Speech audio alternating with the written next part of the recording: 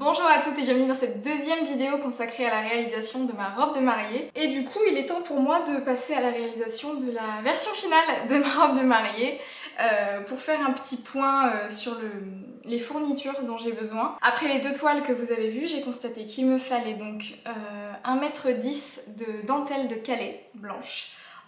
C'est une laisse de 110, hein, c'est pas 140. 11 mètres de crêpe, vous sentez que je suis stressée dans ma voix? Il me faut 11 mètres de crêpe blanc. J'ai choisi du crêpe de polyester. Alors pourquoi? Parce que euh, j'ai besoin de quelque chose qui ne se froisse pas. Et l'avantage du polyester, c'est que ça ne se froisse pas. Et surtout, euh, j'ai regardé en fait dans quoi sont faites les robes de mariée et même des robes de mariée vendues sur net-à-porter, des choses comme ça. Et euh, en fait, elles sont quasi toutes en crêpe de polyester. c'est pas du crêpe de soie ou des choses comme ça. Moi, ça me va très bien. J'aime beaucoup l'épaisseur et le tombé euh, de, ce crêpe de polyester. Donc, euh, je suis partie sur ça. Euh, pour le voile, j'ai pris 2 mètres de tulle blanc et 8 mètres de galon de dentelle de Calais, encore une fois, pour faire voilà, la bordure tout le tour. Et en fait, toutes ces fournitures me sont offertes par ma petite mercerie. en fait, l'année dernière, il y, a presque, ouais, il y a presque un an en fait, quand j'ai annoncé voilà, que j'étais fiancée, qu'on allait se marier en 2021, tout de suite, ma petite mercerie m'a envoyé un message en me disant Raphaël, si tu décides de coudre toi-même ta robe de mariée, tu nous le dis et on te fournit tout. Alors rien que d'y penser là, j'ai la voix qui tremble et j'ai les yeux qui brillent parce que euh, c'est une chance énorme. Et c'est pour ça que j'ai pu prendre de la dentelle de Calais et aller sur des matières un peu comme ça, un peu précieuses pour ma robe. Et, euh, c'est ça qui m'a vraiment porté à me dire ok mais quelle chance Donc je, me devais de coudre ma robe de mariée du coup. Euh, et, cette confiance de la part de la marque, ça me touche. On a fait plusieurs échanges par euh, email sur euh, voilà, le, projet que j'avais, le modèle, etc. Et c'est pour ça que je voulais faire des toiles pour ne surtout pas me tromper. Et le temps que la marque soit approvisionnée dans le métrage de, de la matière qu'il me fallait, voilà, ça a mis un peu de temps, le temps que je reçoive tout. Mais maintenant, je suis en pleine possession de mes moyens et de, tous mes accessoires euh, attenants également. Donc je vais vous montrer un petit peu tout ça. Mais d'avance, merci beaucoup à ma petite mercerie pour, euh, bah, cette confiance et cette impulsion pour coudre ma robe. Je vais pas vous décevoir, j'espère, et vous non plus qui me regardez. J'espère que, que ça vous plaira ici énormément. Alors, dans ce gros carton, j'ai mes 11 mètres. Ça pèse une tonne, hein. Mes 11 mètres de crêpe blanc qui est un crêpe épais. Je vais faire en sorte de me laver les mains toutes les 10 minutes pour ne pas le salir.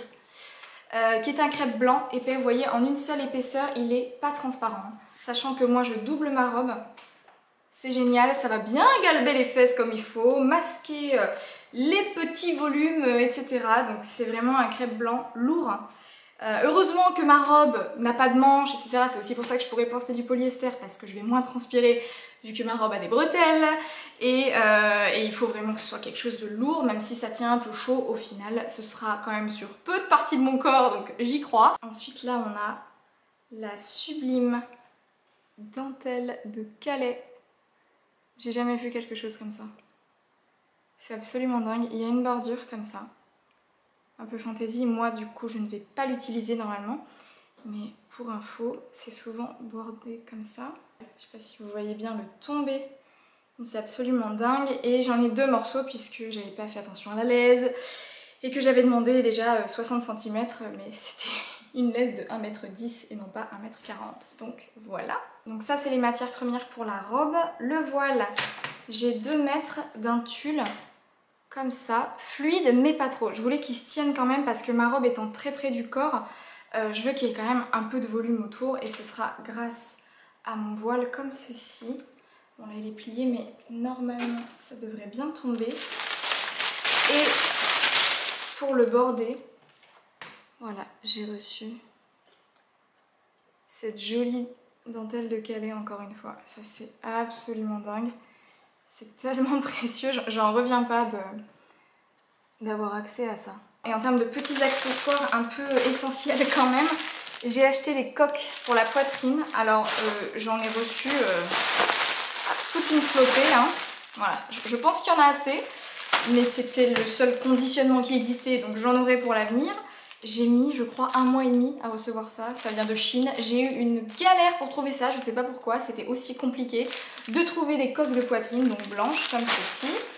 J'ai aussi pris des petits boutons chez Mondial Tissu, des petits boutons à recouvrir pour mettre dans le dos, vous savez, le long de la fermeture éclair, quand même, classique.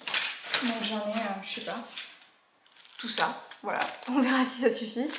Et pour mon voile, j'ai pris un petit peigne comme ça en métal, en métal un peu foncé doré pour pouvoir tchac, le mettre ici et l'enlever facilement une fois la cérémonie terminée. Voilà en gros le matériel, là je ne peux plus reculer donc aujourd'hui je vais commencer par découper mes pièces, ce sera déjà un énorme morceau. Euh, par chance maintenant nous avons une grande table donc je pense que je vais même mettre la rallonge pour ne jamais avoir à me mettre au sol parce que je ne veux surtout pas salir mon tissu.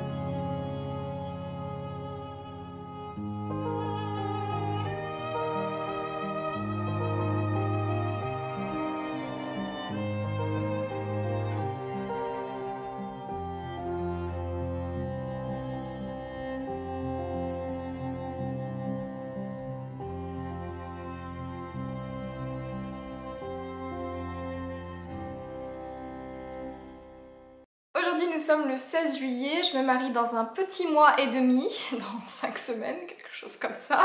Et si vous vous dites qu'il serait temps que je presse le pas, vous avez sans doute raison et je suis d'accord avec vous.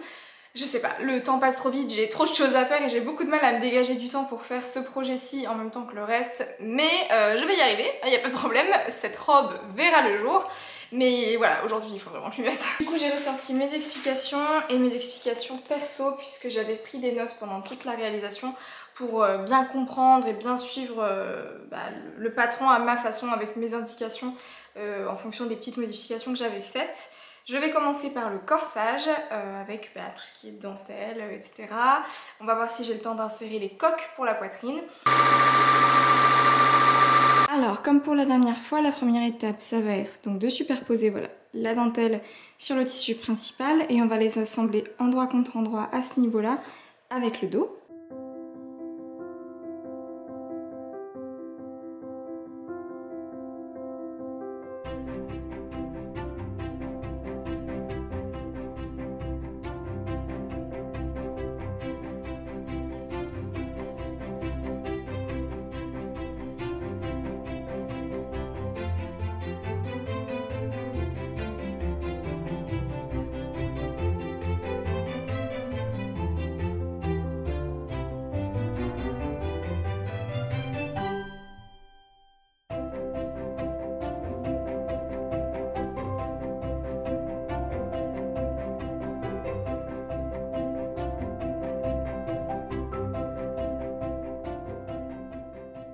Très bien, ici j'ai le devant et ça c'est la doublure. Maintenant je vais pouvoir les assembler endroit contre endroit en faisant bien coïncider la couture ici. C'est vraiment comme ce qu'on a fait avec la version noire. Hein. Sauf que cette fois-ci, je fais super attention à mon tissu.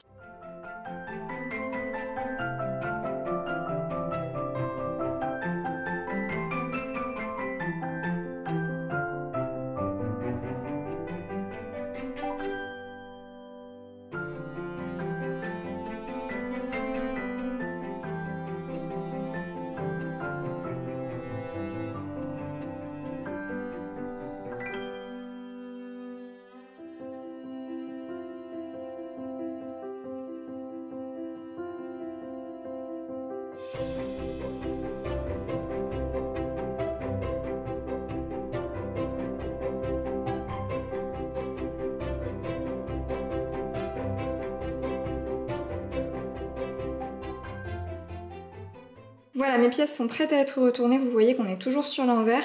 J'ai coupé un petit peu de la marge de couture puisque je couds à 1 cm quand même.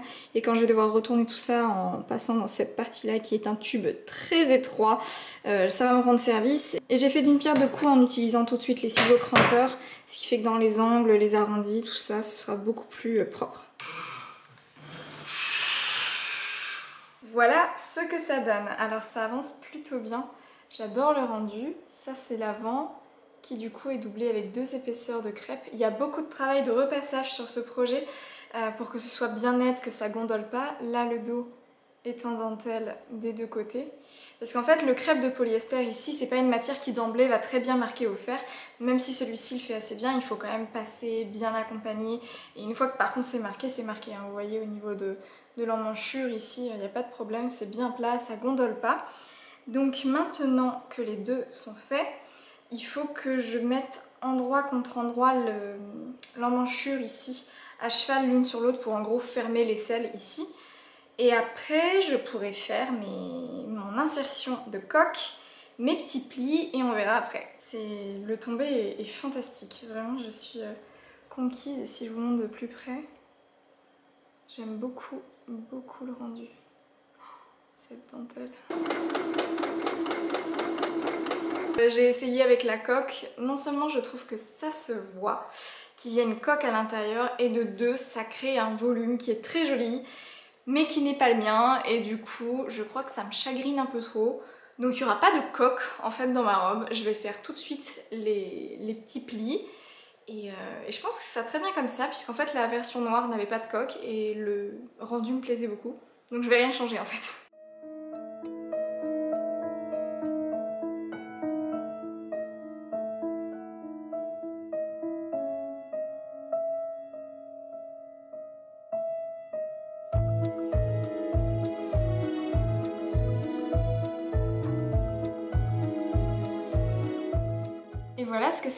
Pour l'instant. Donc j'ai fait du coup les petits plis. Qui, en fait toute cette partie ensuite est vraiment plaquée par le poids de la robe qui tire vers le bas. Aïe Vous voyez l'histoire de ma vie, je me cogne tout le temps. Et dans le dos du coup ça nous fait quelque chose comme ça, rallongé par la ceinture. Hop Je pense que ça va être vraiment pile bien. C'est très difficile de montrer tant que ça flotte et que...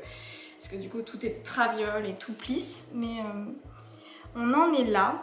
Et normalement, voilà, ce sera comme ça. Voilà, je pense que c'est pas mal pour une première session de travail sur la version finale. Je suis soulagée d'avoir déjà fait cette partie qui est l'une des plus techniques, on va dire. Vraiment, le haut, c'est retourner les bretelles qui est assez difficile et euh, faire tout correspondre. C'est plein de petites étapes. La deuxième partie un peu technique, c'est à la fin quand vous rassemblez tout ici en faisant une pointe avec la ceinture, le bas, etc. Et le dernier point technique, je dirais que c'est poser le zip dans le dos, mais ça encore, ça va. Euh, voilà, on va dire que pour l'instant, on a fait un quart du travail.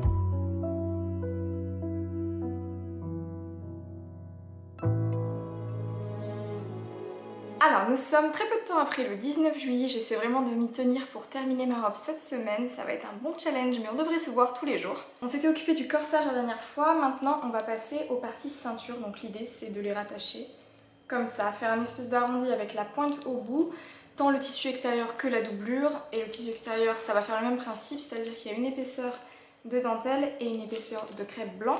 Et ensuite, une fois que ça se sera préparé, on va faire euh, les premières coutures en fait des longues parties jupes. On va faire cette espèce de, jupe euh, deux fois puisqu'il a doublure. Et, euh, et, ça va commencer à être assez impressionnant. Et là je me base principalement sur les notes que j'avais prises puisque j'avais fait des petits schémas là sur les parties ceinture. Celle-ci elle n'est pas totalement symétrique, il y a vraiment un, sens à respecter. Et heureusement que j'ai fait ça parce que je suis assez visuelle et j'avais peur d'oublier. Mais ça devrait le faire et on va se retrouver une fois que ce sera fait.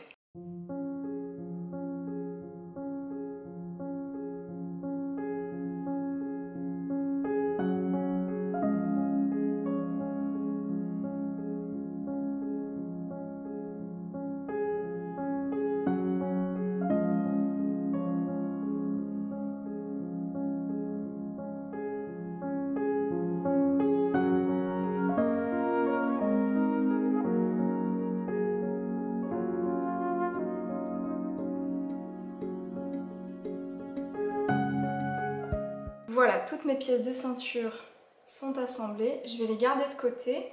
Les quatre, elles sont bien symétriques, je ne me suis pas trompée. Ça a l'air de correspondre au tour de corsage. Et du coup maintenant, on va pouvoir passer aux parties de la jupe. alors ça nous donne des pièces qui sont immenses, du coup, celles que j'ai mis tant de temps à, à découper.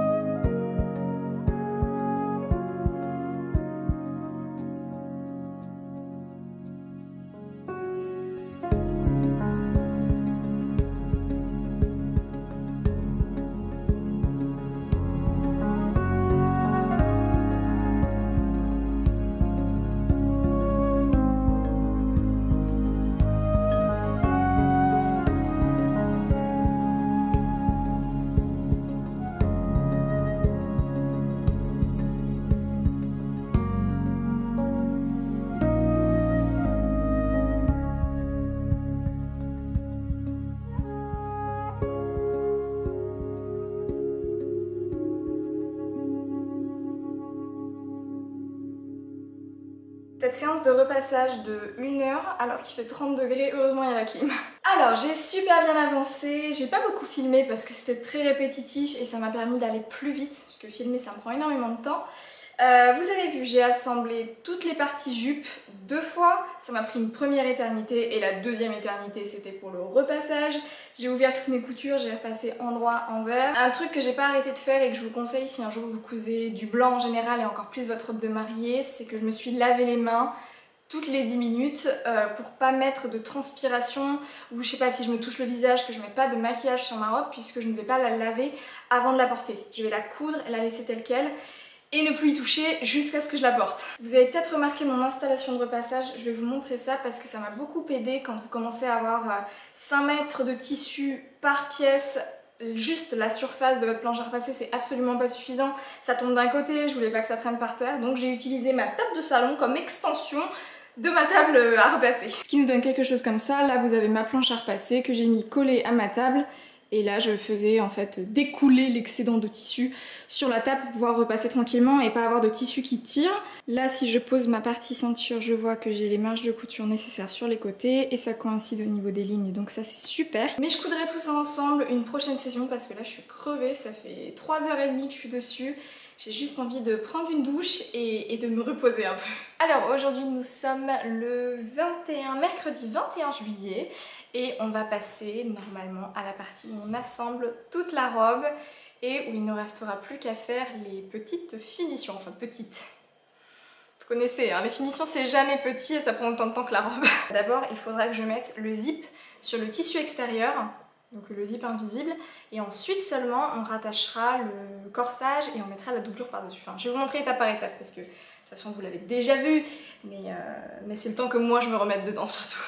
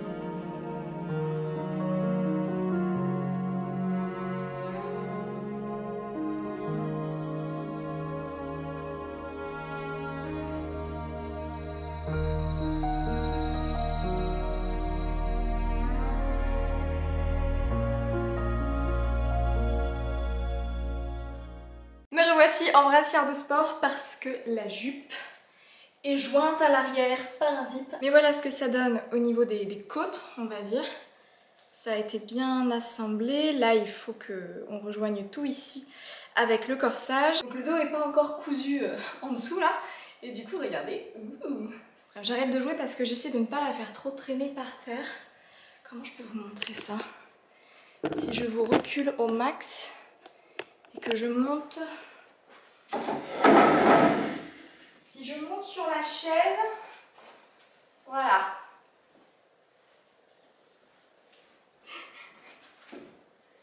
Voilà l'idée. Hop. Donc ça suit bien comme on avait fait la dernière fois. Et c'est assez moulant à ce niveau-là, donc je suis vraiment contente que le tissu ait réagi euh, de la même façon, on va dire, que sur la version noire. Et euh, voilà, ça normalement c'est censé traîner derrière. Donc là, ça va être justement le moment de coudre euh, le dessous du zip. Du coup, je vais commencer par ça et ensuite je ferai vraiment le moment fatidique, je trouve, de cette robe, c'est-à-dire attacher le corsage sur celle-ci et prendre un sandwich avec la doublure. C'est là qu'il y a énormément de tissu à manipuler, faire en sorte que la pointe tombe bien, que ce soit centré par rapport au corsage et que je pourrais essayer et voir si ça me va ou pas. Je suis, ouais, je suis un peu stressée j'avoue et, euh, et on verra.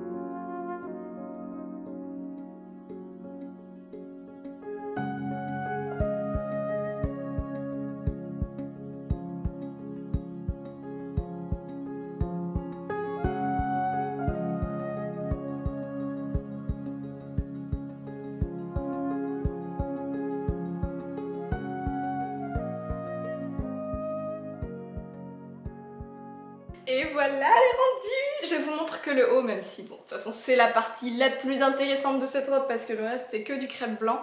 Mais euh, je trouve ça canon. Faut que je finisse à la main ici le zip.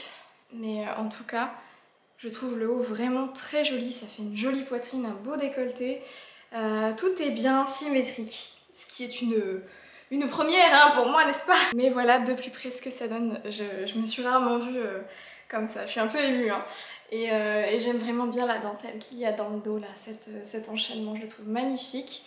C'est très agréable à porter. La robe est assez lourde, l'air de rien, ce crêpe bah, lourd hein, porte bien son nom puisque ça, ça leste énormément la robe, ce qui est pas plus mal parce que du coup ça évite que ça bouge ou quoi, c'est vraiment ça tire vers le bas donc il n'y a rien qui bouge. Voilà le plus gros effet. Euh, je suis tellement soulagée, tellement contente. J'ai plus que les finitions à faire, c'est-à-dire euh, Coudre à la main tous les côtés du zip, faire l'ourlet des deux robes, des deux jupes euh, à la bonne distance. Il faut que je ça avec mes chaussures. Il faut que je couse les boutons recouverts dans le dos. Enfin voilà, il reste encore pas mal d'étapes. Mais pour aujourd'hui, c'est énorme et je suis ravie.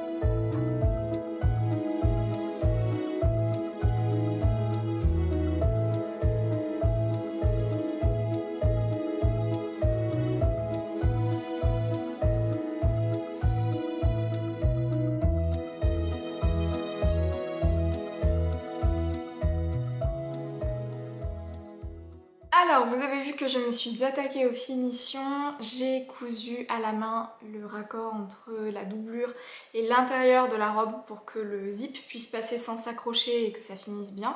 Donc j'ai cousu ça à la main, c'était un petit peu long mais ça allait. Et surtout, je viens de passer 3 heures consécutives à faire des boutons recouverts. J'en avais 24. 4 x 6, 24. Et ça m'a pris 3 heures. C'est interminable à faire mais c'est si beau que ça vaut le coup. C'est ceux, vous savez, qui sont dans le dos là. À mettre par-dessus la fermeture éclair en décoration. Mais c'était interminable, c'est très pénible à faire honnêtement, mais c'est quand même très très beau. Là je vais les coudre tous à la main encore une fois. Je vais essayer de bien les répartir sur toute la longueur de la fermeture éclair. Et la dernière finition qui me restera à faire sur cette robe, c'est l'ourlet en bas, en rouloté. Mais j'attends une commande que j'ai faite qui contient du fil mousse blanc pouvoir faire un beau rouloté bien couvrant parce que j'en ai plus ici. Donc euh, voilà, ça devrait arriver d'ici quelques jours et je ferai ça euh, tranquillement de mon côté, il n'y a rien d'intéressant. Et en tout cas, la robe est cousue, elle me va, elle est faite, ça y est, j'arrive pas à croire que je dis ça, euh, c'est vraiment les mini mini détails finaux à, réaliser. Demain, je fais mon voile et on sera bon. Il y a tellement de choses à gérer à côté que ça, ça passe vraiment en mode bon, il faut vraiment que je me dépêche de la faire, elle sera faite, on n'en parle plus et c'est vrai qu'à force de faire toujours ce patron d'être que sur le même projet pendant aussi longtemps, avec autant d'étapes. Je vous avoue, j'ai hâte qu'elle soit terminée, de la mettre dans un coin et de l'oublier un peu avant le mariage parce que là j'ai un peu de mal à, à l'avoir en peinture.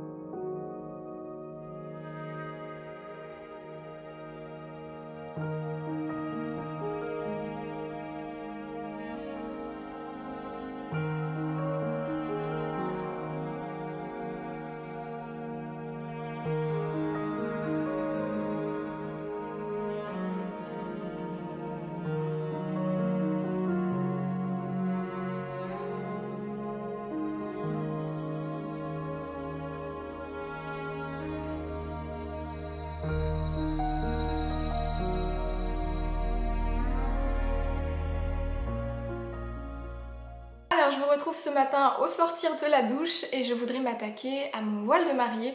C'est quelque chose qui me fait pas trop peur parce que j'en ai réalisé euh, plusieurs avant, dont ceux de deux de mes amis. Et euh, j'avais d'ailleurs euh, un temps pensé avoir une petite entreprise de voile de mariée, accessoires, tout ça, mais au final, étant donné que YouTube a commencé à bien marcher et que ça me prend largement 35 heures semaine, voilà. Plutôt sereine par rapport au projet du jour. Alors j'ai besoin de trois choses principales, on va dire. La première, c'est un peigne, comme ça.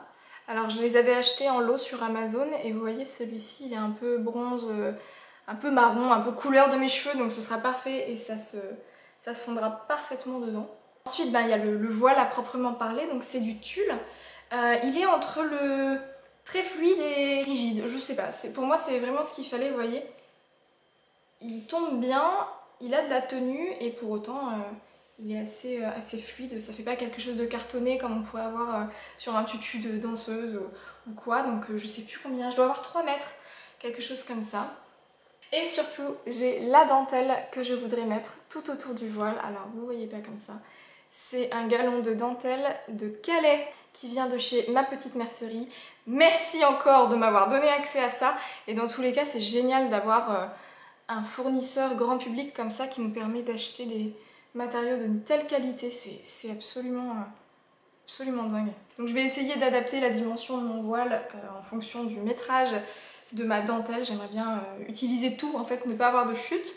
Donc je vais mettre ça à plat, calculer, mesurer, etc. Mais d'abord, on va s'attaquer au peigne et on va le préparer à recevoir le voile. Je vais vous montrer ça. Donc l'idée c'est d'avoir une bande de tulle et vous voyez sur la lisière, de toute façon cette partie là je vais pas la garder. Donc je vais venir découper sans mesure particulière. Hein une bande de, tissu. Alors si vous voulez pas utiliser du tulle, vous utilisez n'importe quel euh, tissu un peu blanc, mais là comme j'ai ça sous la main et que ce sera la même matière, je trouve ça plus sympa.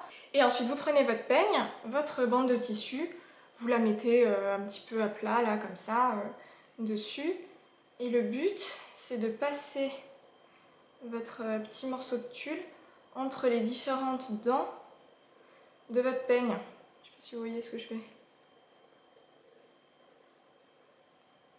Et ainsi de suite. Et du coup, ça va recouvrir la partie haute là de tissu sur lequel vous pourrez coudre ensuite à la main pour fixer votre voile. Moi, je vais faire un aller-retour, ce sera bien suffisant. Vous voyez, ça crée un volume sur le haut qui est euh, cousable en fait, puisque vous avez une partie en tissu. une fois que ça c'est fait, que vous avez le petit bout qui dépasse, vous venez le coudre à la main, vous faites un nœud, peu importe, hein, vous le fixez de la manière qui vous semble la plus simple. Voilà, moi je vais m'arrêter là. Je vais coudre et ce sera prêt.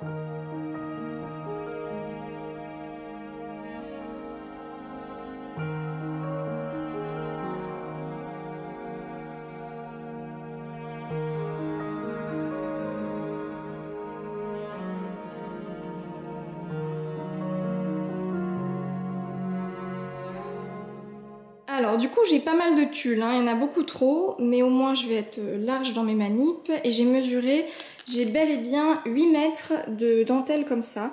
Donc je vais regarder euh, à peu près euh, ce qu'on peut faire. On va se faire un schéma parce que comme ça vous voyez un petit peu la forme que je voudrais. Donc on va dire que le peigne est ici. Vous avez donc sur l'avant l'espèce de rabat et sur l'arrière la partie traîne. Donc le voile j'aimerais qu'il ait une forme, donc les côtés seraient droits. Je suis nulle en dessin, hein, je vous préviens. Sur l'avant, je voudrais que ce soit juste un petit peu arrondi comme ça. Voilà. Et sur l'arrière, je voudrais que ça fasse vraiment un arc de cercle. Comme ça.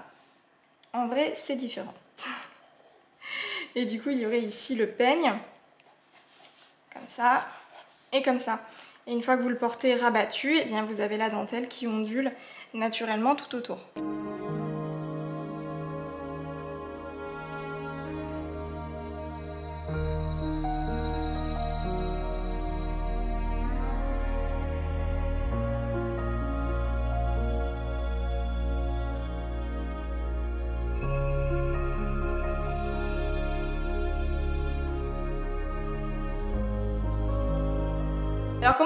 Trouver la bonne taille Eh bien à tâtons, hein, honnêtement il n'y a pas spécialement de formule.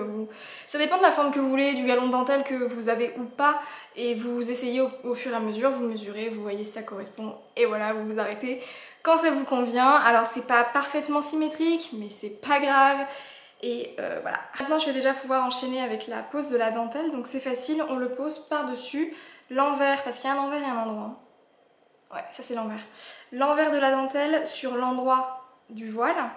Et ensuite, eh ben, on vient coudre euh, de manière discrète. De toute façon, ça se voit pas. Moi, je vais la poser donc dans ce sens-là, avec le bord du, voile qui arrivera à peu près ici. Et je vais surpiquer tout simplement. C'est ce que j'avais fait pour les, voiles que j'avais essayé avant et, euh, ça rendait très bien, la, la surpiqûre est très discrète. Et de toute façon, un voile, qu'on se le dise, euh, son espérance de vie elle est très courte parce que déjà après le cocktail tout le monde a marché dessus, tout le monde a fait des trous dedans et il est mort.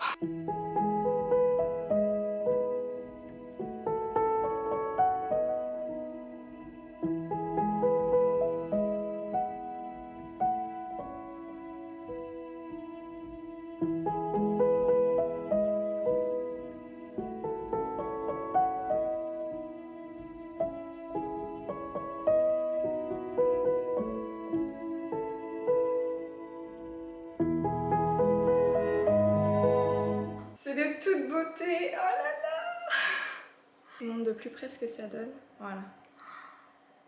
Je suis subjuguée. Je vous promets. C'est si beau. Si beau, si beau. Je vais essayer de vous montrer ce que ça donnerait euh, porté. Alors à partir du haut, moi je voudrais qu'il y ait 60 cm, hop, chose comme ça, avant d'arriver à ma tête. Donc dans l'esprit, ça ferait ça.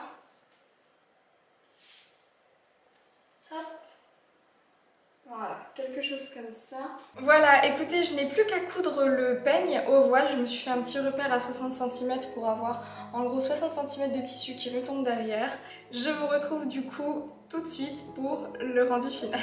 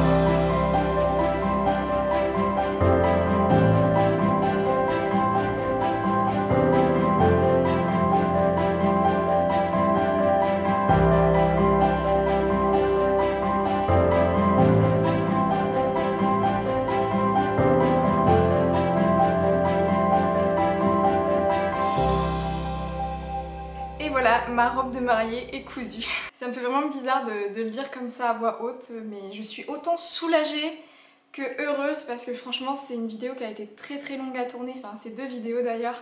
Euh, c'était en plus de tous mes autres projets, toutes mes autres vidéos, en plus de la vie en général. Et ça a été vraiment un très très long processus avec des moments où je ne pouvais pas toucher à ma robe. Enfin voilà, un sacré parcours mais je suis extrêmement fière du, résultat et, et juste d'avoir voulu faire ça et d'y être arrivée. Et avant toute chose, je tiens vraiment à remercier du fond du cœur ma petite mercerie sans qui j'aurais pas pu faire une telle robe. Ils m'ont vraiment donné carte blanche sur le choix des tissus, le métrage. Je me suis éclatée donc merci infiniment pour ça. Évidemment que je vous recommande leur site si un jour vous avez envie de coudre votre robe de mariée ou si tout simplement vous avez envie de, tester des tissus haut de gamme comme de la dentelle de Calais, c'était un vrai bonheur. Qualité excellente, je sais euh, qu'ils se fournissent directement à Calais, j'étais en contact avec la personne qui faisait le lien avec le fournisseur, c'était incroyable et, euh, vraiment je vous recommande de tenter cette expérience et si possible de faire appel à leur service parce que leurs tissus sont incroyables. Au moment où je tourne cette vidéo, le mariage c'est dans 3 semaines et euh, au moment où vous la voyez, le mariage sera déjà passé, donc voilà, j'espère que tout se sera bien passé. Euh, filmer le résultat final, ça a été euh, un sacré travail et une sacrée galère surtout parce que ça tombait pile dans le moment où il y avait beaucoup de vent. Il y a des jours où je me suis déplacée, où j'ai enfilé ma robe pour rien, j'ai dû tout remballer. Évidemment, je vais dans des endroits inaccessibles, c'était c'était tout un truc, mais j'ai fini par avoir de plutôt bonnes vidéos et j'espère des plutôt bonnes photos. C'est vraiment le projet bah, dont je suis la, plus fière et je pense que ça va rester comme ça un long moment. Euh, j'ai vraiment hâte que mon mari me voit dans ma robe et, je sais que pour lui ça a vraiment de la valeur que, je l'ai cousue toute seule. Donc euh, c'est génial. J'ai pris la peine de noter le temps de travail euh, à chaque séance en fait depuis novembre pour avoir un ordre d'idée, juste pour me dire mais combien de temps j'ai passé sur cette robe alors c'est quelque chose que je fais jamais pour les autres projets parce que ça n'a aucun intérêt mais là c'était juste pour me dire mais est-ce que ça va faire un truc colossal ou est-ce qu'en fait est-ce que c'est juste un patron normal et que j'ai cousu en blanc? Non, puisque du coup euh, la version 1, donc la version en toile, euh, enfin la, vraie toile, celle avec les draps, euh, m'a pris 78 heures de travail et c'est ça qui m'a pris le plus de temps en fait, de redécouper le patron, de tout modifier, de le mettre à ma taille. C'est vraiment 78 heures, c'est énorme. Parce que finalement le patron que j'ai choisi, alors il est un peu technique c'est sûr, il y a euh, toutes les découpes, les pointes, les angles, la pointe ici, à gérer, la doublure. Alors c'est pas évident, mais ça se fait. Et en fait le plus long, ça n'a pas été l'exécution du patron, ça a vraiment été de le modifier pour le mettre à mes mesures, qui soit à ma taille, qui me colle là où je voulais et qui soit plus évasé à d'autres endroits. Vraiment ça, la mise aux mesures, c'est ce qui m'a pris le plus de temps, qui est vraiment pas amusant, ni à filmer, ni à faire. Donc voilà, 78 heures sur la version 1. Ensuite sur la version en crêpe noire, eh bien ça m'a pris 10h30. 10h30 parce que je savais où j'allais, que euh, je, voilà, je voulais juste avoir une toile portable, portable, quand est-ce que je pourrais mettre une telle robe, mais au moins une toile euh, voilà, qui ressemble à quelque chose, mais pour autant je me suis pas arrêtée au millimètre près sur les finitions, les trucs, voilà donc ça a été super rapide, surtout qu'au final le patron m'allait déjà, euh, j'ai quasiment rien eu à modifier, donc j'étais vraiment contente, donc 10h30 sur la version noire, et au final sur la version blanche, donc sur ma robe de mariée, j'ai passé 24 heures, 24 heures euh, mis bout à bout, euh, ça me paraît pas grand chose comme ça, mais pourtant j'ai l'impression que ça m'a pris une énergie énorme parce que je pense que j'avais la pression de pas salir ma robe, de me laver les mains, de, tout faire bien et de surtout pas gâcher le tissu en fait parce que j'aurais pas eu le temps d'en recommander et je voulais pas gâcher euh, ce cadeau de la part de ma petite mercerie. Donc 24 euh, heures, ce qui est quand même beaucoup, hein, mais, mais ouais, voile compris d'ailleurs. Le voile ça a été assez rapide finalement parce que J'en avais déjà fait avant et euh, le plus long c'est juste de mettre bien à plat, de faire en sorte que ce soit bien centré, de bien placer le peigne. Mais une fois que c'est fait, euh, la couture de la dentelle tout autour c'est très sympa à faire parce qu'on voit le résultat tout de suite et puis ça se fait à la machine, donc euh, nickel. Ce qui nous fait un total, si j'arrondis, de 112 heures de travail pour arriver au résultat final. C'est colossal 112 heures, mais c'est trop classe. Et c'est pour ça que je suis très heureuse d'avoir ma robe, mais aussi très soulagée que ce soit fait, que ce soit passé, je pense que voilà, il va me falloir un petit peu de temps avant de l'apprécier. Je pense que quand je vais l'enfiler le jour J, je vais me dire mais ça vaut tellement le coup, je le referai sans hésiter et c'est vrai, je peux déjà vous le dire. Si vous hésitez à couvrir votre robe de mariée, mais allez-y. C'est une super expérience. Prenez-vous-y à l'avance, comme ça si au final vous vous rendez compte que c'est pas ce qui vous convient, vous aurez encore le temps d'aller choisir une robe dans une boutique. Mais euh, c'est beaucoup de travail pour la porter une fois dans la vie, mais, euh, mais c'est plus un truc genre un marqueur en fait où on s'est dit mais j'ai fait ça et, quand j'aurai des petits coups de blues je pense que j'y repenserai, je me dirai mais trop bien quoi. Et en plus au final je pense qu'il y a pas mal de patrons qui ne sont pas des patrons de robes de mariée mais à partir du moment où vous les cousez dans des tissus blancs un peu précieux et que vous mettez un voile par-dessus, ça vous fait une robe de mariée. Je sais que la robe Magnolia par exemple euh, de chez Direndo, elle est beaucoup utilisée pour réaliser des robes de mariée et c'est magnifique et ça fait totalement le job. Moi je pense que j'ai plus besoin de me rassurer en allant vers un patron qui est estampillé patron de robe de mariée et aussi parce que je pense que j'avais vraiment envie une fois dans ma vie de porter une robe très sirène, très moulante comme ça donc euh, je me suis dit que ce serait l'occasion de faire d'une pierre deux coups mais, euh, mais, en soi il y a plein de patrons qui existent, il vous suffit de mettre euh, des choses qui sont connotées mariées et je vous garantis que ça vous fait une robe de mariée. Au final c'est vraiment les finitions qui m'ont pris pas mal de temps sur la robe, notamment les boutons recouverts dans le dos. Il y en avait 24 et ça m'a pris mais je sais pas, 3, plus de 3 heures d'affilée de les faire, j'avais mal aux mains, enfin c'était vraiment la partie pas drôle. Euh, et aussi tout ce qui est machinerie à l'intérieur de la robe. Euh, si vous cousez votre robe vous-même, renseignez-vous sur la façon dont vous allez la porter ensuite.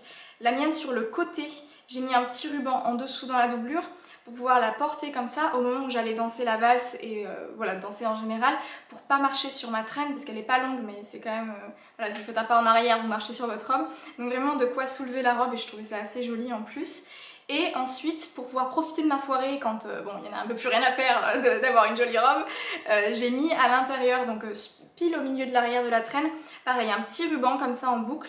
Et à l'intérieur de la robe, ici, j'ai fait pendre un ruban tout fin pour que pendant la soirée je puisse l'attacher, en fait remonter la traîne à l'intérieur de la robe pour pouvoir euh, avoir une robe qui ne traîne pas par terre et pouvoir m'éclater avec mes copines. Voilà, je pense vous avoir tout dit, je l'espère. Si vous avez des questions supplémentaires, comme d'habitude, n'hésitez pas à me les laisser en commentaire.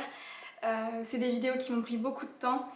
J'ai vraiment eu des moments où je me disais, allez, c'est c'est quoi, tu filmes pas ça, c'est trop long, trop contraignant, mais ça vaut le coup et je pense que c'est des vidéos que vous avez beaucoup attendues et je vous remercie de m'avoir encouragé régulièrement en me disant oh, j'ai hâte de voir ta robe et tout, vous avez pas idée comme ça m'a porté. Euh, j'espère que ça vous plaît.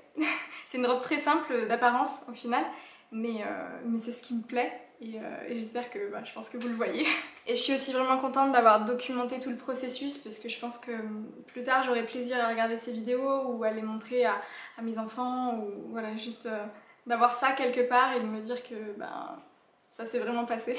Normalement, au moment où cette vidéo sort, la première vidéo est déjà sortie, j'espère que vous l'avez regardée. Et vous n'aurez pas de vidéo avant octobre Voilà, je sors uniquement ces deux grosses vidéos en septembre et je profite. Et j'aimerais aussi profiter de, mon mari, du peu de temps qu'on va avoir ensemble là, euh, avant la fin de l'année.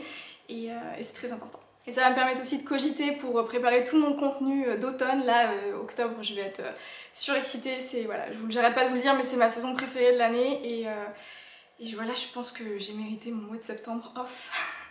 J'espère que vous serez en mesure de m'attendre en octobre. Je ne vous retiens pas plus longtemps, je vous remercie infiniment pour tous vos petits messages d'encouragement au long du processus. Je vous remercie aussi d'avance pour vos messages de félicitations que vous laisserez probablement en commentaire. Je sais que vous êtes toujours très réactive et, vous vous réjouissez souvent beaucoup pour euh, les choses qui, arrivent aux autres et ça fait plaisir. Donc d'avance un grand merci, j'espère que je pourrai répondre à tout le monde euh, et voilà. Je vous embrasse bien fort et je vous souhaite à tous une très bonne rentrée. On se retrouve en octobre, prenez soin de vous. Ciao ciao